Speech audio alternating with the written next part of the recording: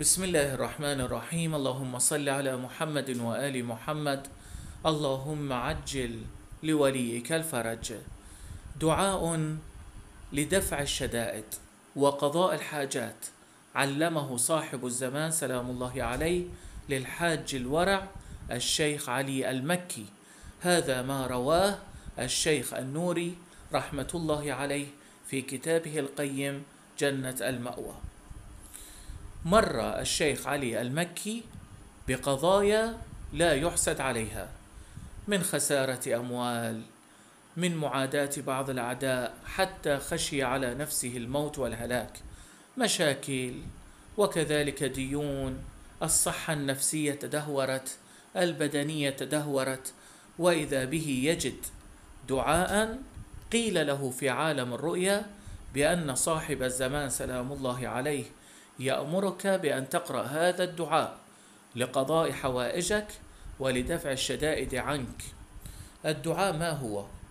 بسم الله الرحمن الرحيم.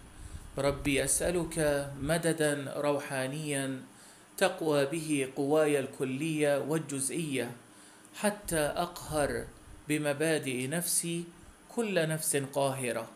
فتنقبض لي إشارة رقائقها انقباضا تسقط به قواها حتى لا يبقى في الكون ذو روح إلا ونار قهري قد احرقت ظهوره يا شديد يا شديد يا ذا البطش الشديد يا قهار أسألك بما أودعته عزرائيل من أسمائك القهرية. فانفعلت له النفوس بالقهر أن تودعني هذا السر في هذه الساعة حتى ألين به كل صعب. وأذلل به كل منيع بقوتك يا ذا القوة المتين. تقرأ ذلك الدعاء سحرا ثلاثا إن أمكن وفي الصبح ثلاثا وفي المساء ثلاثا. أي قبل صلاة الفجر وبعد صلاة الفجر وكذلك بعد صلاة المغرب أو العشاء. فإذا اشتدت الأمر على من يقرأه يقول بعد قراءته ثلاثين مرة. يا رحمن يا رحيم يا أرحم الراحمين أسألك اللطف بما جرت به المقادير.